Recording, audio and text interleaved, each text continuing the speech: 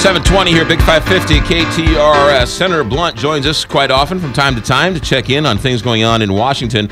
And this Iranian deal is uh, getting interesting and somewhat confusing. So, Senator Roy Blunt, thanks for joining us and giving us a couple minutes to sort of dissect and try and figure out what's going on with this uh, Iranian deal. Thanks for joining us. Well, I'm glad to be with you, McGraw. Good to, good to talk to you this morning. So, um, in history class, we were taught that the Senate had to confirm treaties that the president negotiates. But in this situation, that's not necessarily true because this isn't necessarily a treaty. Well, you know, obviously that's that's an important question, and the and maybe even a more question, important question is why wouldn't it be a treaty? What other uh, nuclear agreement have we ever entered into that wasn't a treaty? Uh, and why would you just want to have an agreement here? You know, I signed a letter with uh, Tom Cotton and 45 other uh, members of the Senate that got a lot of attention uh, a couple of weeks ago. Uh, and I thought the most interesting reactions to that letter were the Secretary of State, who the next day finally publicly pointed out, "You're right. This isn't a treaty which means, by the way, it's not binding on anybody. It's just an agreement. Uh, the president would be bound by it. It's going to be such a good agreement that we assume the next president would be bound by it, but went to great lengths to point out this isn't an agreement that binds the country like a treaty would because they don't want this discussion to be held in public before the Senate. And then the next day, McGraw, the uh, foreign minister of Iran, said, you know, in these international discussions like this one, it's really not the law of any country that matters. It's international law. Uh, I, I soon will have been in every county in Missouri the second time in the last four years. There is not a coffee shop or a courthouse in Missouri where people think that international law is more important than the Constitution. And then the third point was the president's chief of staff about 72 hours after that letter uh, went out to every newspaper in the country uh, said, you know, the president will probably want this approved by the UN, but won't want it approved by the United States Senate. Uh, and I, I think uh, everybody should be concerned about that uh, because it uh, there, there's got to be a reason that the president doesn't want to go through the normal process of people talking about this agreement that will allow Iran to become a nuclear weapons capable country. So the, the, the Senate is debating whether or not to pass a law that would force the Congress to then approve or disapprove any deal with Iran. Is that am I reading that correctly? Well, I think that's correct. I think the the, the law that they're talking about, Senator Corker, the chairman of the uh, of the Armed Services of, of the Foreign uh, Relations Committee, our, our neighbor from Tennessee, it's a little bit in, in flux trying to see what you could get uh, two thirds of the Senate to agree to, because the goal here would be not to just put a bill on the president's desk, but then to be sure that you could enforce that with a veto override. But the, it may be impossible to get there. The, at the end of the day, what may have to happen is put a bill on the president's desk, see if he signs it or not, and if he doesn't, uh, the weight of this bad decision on our part to let this destabilizing thing happen um, actually then is, is clearly on the head of the guy who has decided not to go through a normal constitutional uh, process.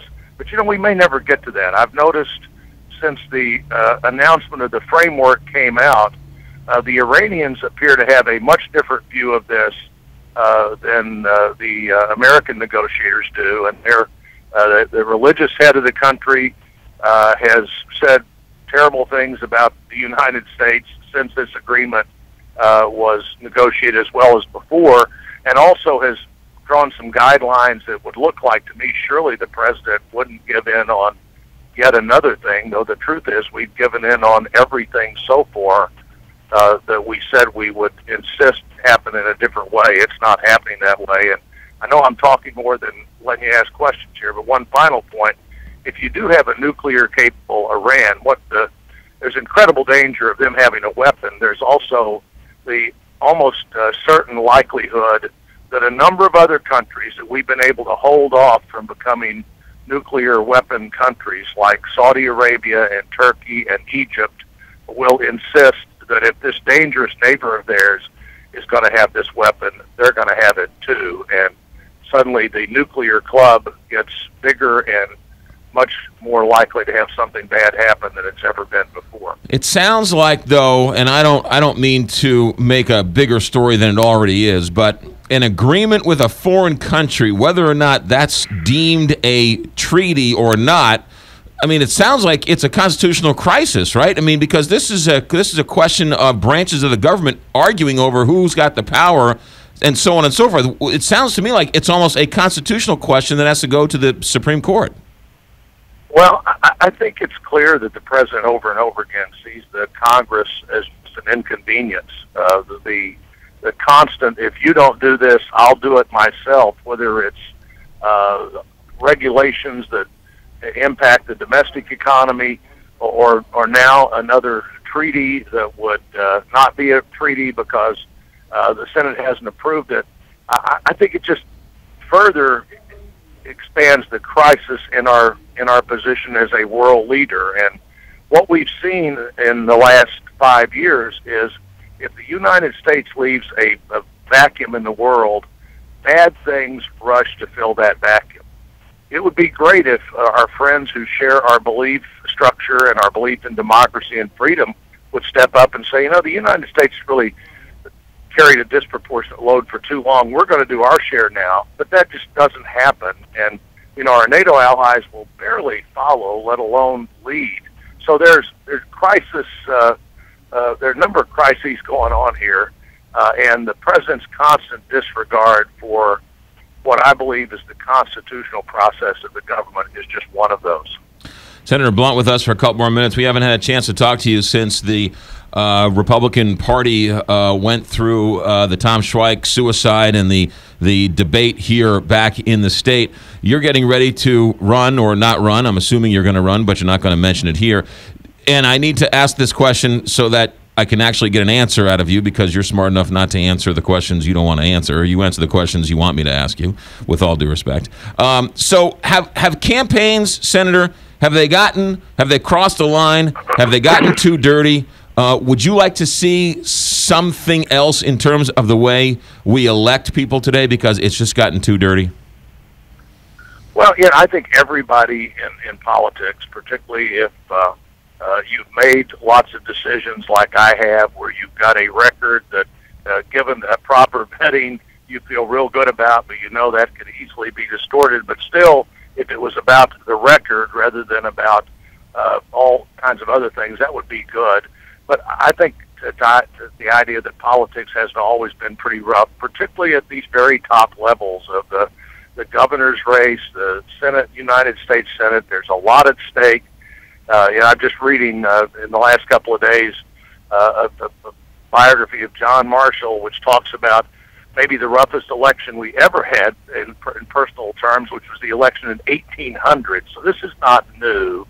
And uh, in terms of my friend Tom Schweich, very smart, very capable, did a really good job as state auditor. Uh, but I, I think it's it's dangerous to try to find to try to think of what is the rational reason for an irrational decision. You know, when somebody takes their own life, there's uh, there's a there's a decision you can't go back and re redo that, and that's done. I don't know that all of that you can always find a logical reason for a tragic loss like uh, uh, the loss of Tom's life and the, the ongoing loss to his family uh, every day.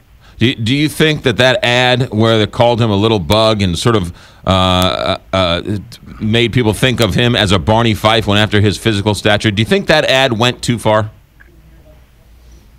You know, it's just it's a it's a tough business, and I, I suspect uh, uh, there there may not be anybody in Missouri politics who's had who has had more ads run about just them as a person and their character than I have, and I just know those ads aren't true. And fortunately, the voters always seem to figure out that uh, they're not true either. Uh, and if you're going to do this, you've got to be really prepared to deal with the, uh, the the challenges and the fact that people will just simply say things that aren't true on the basis uh, that there's a lot at stake. And uh, I don't think that's a rational basis for that. Uh, but it's one of the one of the ongoing truisms of politics for a long time in the country.